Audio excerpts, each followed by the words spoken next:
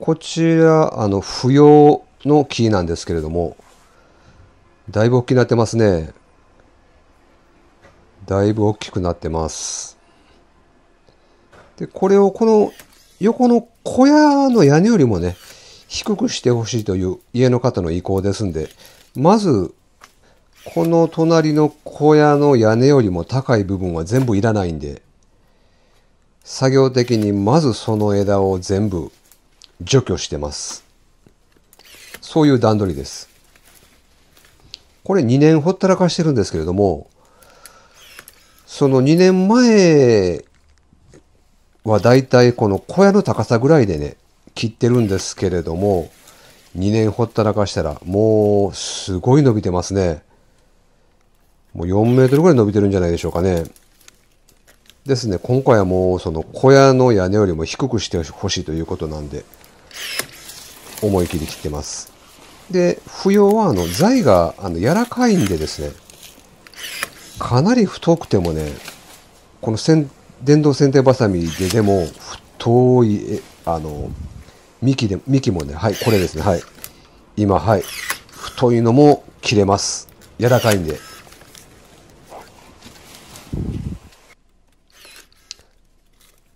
まずいらない枝全部切ってますね。で、あの、枯れた枝とかね、ごちょごちょっとした枝も全部、あの、なくして、もう整理していってます。もうすっきりさして、太い枝だけ何本か残すっていう感じにします。はい。じゃあ、あの、高さ決めますね。はい。ここに決めます。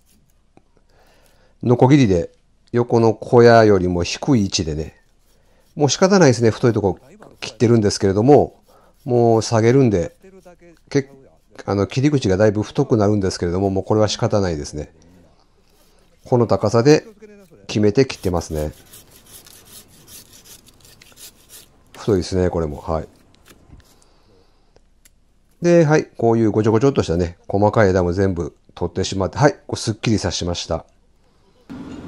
はい、仕上げはこのトップジン M、これ殺菌剤ですね。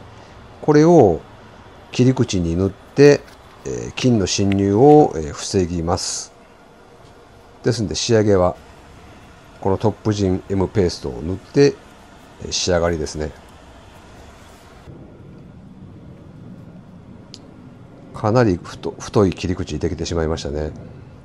はい、仕上がりました。はい、こんな感じですね。もうすっきりさしました。はい。すっきりさしました。こんな感じです。お疲れ様です。健三です。不要の剪定見てもらったんですけれども、結構きつくね、あの、強剪定しました。皆さん質問、どういう質問があるかなと思うんですけれども、まずあの、あんだけ切って、花は大丈夫なんかって。花はね、大丈夫です。その不要は、あの、新枝咲きって言うてですね、あの、その年に伸びた、えー、枝の先に花芽つけますんで、来年の4月から伸びたその枝の先に花咲きますんでね。ですんで、あの、まあ、不要の剪定適宜が、まあ、9月の、まあ、花後ですね、花終わってから、来年の、まあ、3月いっぱいまで、あの、いつ切ってもね、花大丈夫です。結局来年の4月から芽が伸びるじゃないですか。その先に花芽つくんでね。ですんで、あの、剪定時期っていうのはそこまで神経質にならなくても全然大丈夫です。はい。9月終わり、まあ、花終わってから来年の、えー、3月いっぱいまで猶予ありますんでね、その間でしたらどこで切っても、はい、大丈夫です。あと何が質問あります？あ、病害虫ですね。病害虫ね、その病気はね、そんなに気にするようなもんないですよ。で、虫が、まあ言うたアブラムシですね。アブラムシはまあ結構、どんな樹木も結構つくんで、オルトラン流剤がいいんちゃいますかね。オルトラン流剤ね。いいと思いますね。あとまあ質問的には、まあ、剪定の今回のやり方はちょっと後でホワイトボードでちょっと説明するんですけれども、えー、その前に質問というと、あのトップジン、えー、M 殺菌剤ですね。殺菌剤塗ったんですけど、あれ、まあ、言うたら500円玉以上ぐらいの切り口だったら全部塗った方がいいですよ。で、こんあのトップジン M ってね、その融合剤ですね、切り口に塗る薬っていろいろな種類あるんですけど、その農薬はトップ GM だけだけなんですよ。他にもいろいろあるんですけれども、農薬はトップジン M だけなんで、トップジン M を使ってください。じゃないと、その、殺菌効果ないんでね。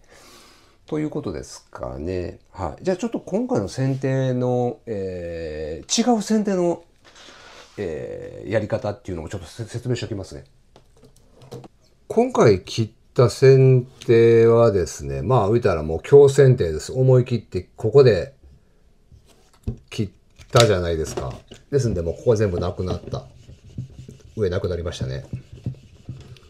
で、じゃあ次これ来年どうなるんやって言ったらね、まあ、こっからも出ますし、で、もこの辺からも、こう、出ますね。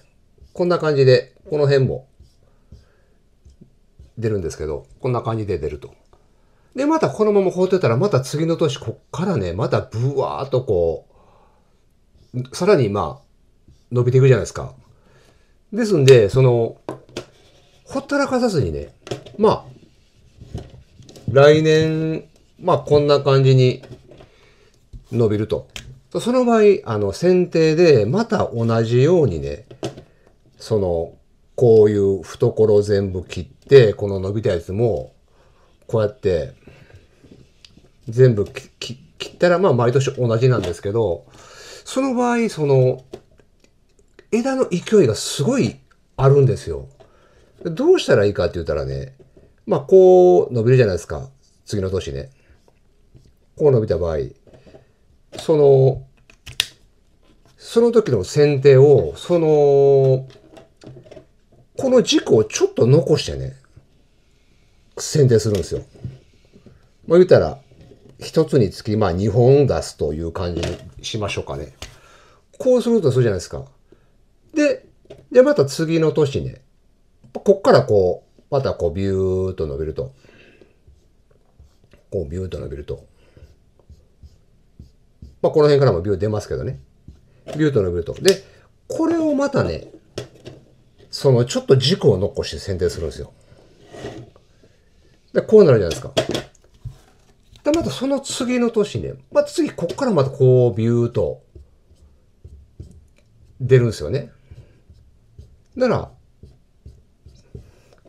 だから、こう出て、こう出て、こう出てるんでね、その、枝数がめっちゃ増えるんですよ。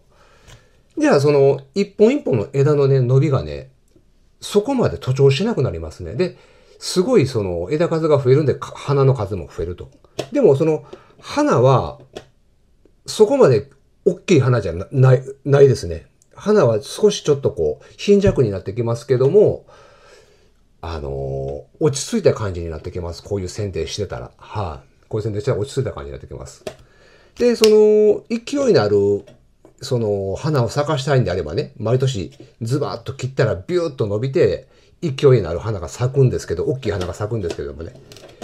でも、その、なんて言うんでしょうかね。もう、毎年荒れてしまうんで、強剪定したらね。ですね、こういう剪定も、あの、ありということです。はい。一度試されてもいいんじゃないですかね。で、もともともう、大きくなるんでね、不要ってね、もうごつくなるんで、小さく維持するっていうのはなかなか難しいんですよね。はい。なかなか難しいんですよ。はい。ですんで、その、もし不要、あ、これぐらいごつくなるのが嫌なんであれば、あの、同じ青い蚊のね、ムクゲですね。ムクゲに、あの、変えてもええんちゃいますかね。ほぼ一緒なんでね。で、青イカでで言うたら、もうムクゲもその、ハイビスカスも同じなんですよ。ほとんどね。だから、不要ムクゲハイビスカス。まあ、剪定の仕方もまあ、ほぼ一緒です。ですんで、まあ、不要、あ、まあ、やっぱごつくなる今日ね、やっぱりこう、家でちょっといい感じに縮小して管理するというのが、まあ、そもそもその、性質的に無理なんでね。はい。もし大変なんであればもう、不要を引っこ抜いてね、ムクゲ植えるとか、そういう選択肢の方が、あのー、シンプルでいいかもしれないです。はい。ということですね、今回は。はい。またね、えー、植木屋健チャンネル質問あればね、コメント欄に入れていただけたら僕全部答えてますんで、はい。またその時よろしくお願いします。バイバイ。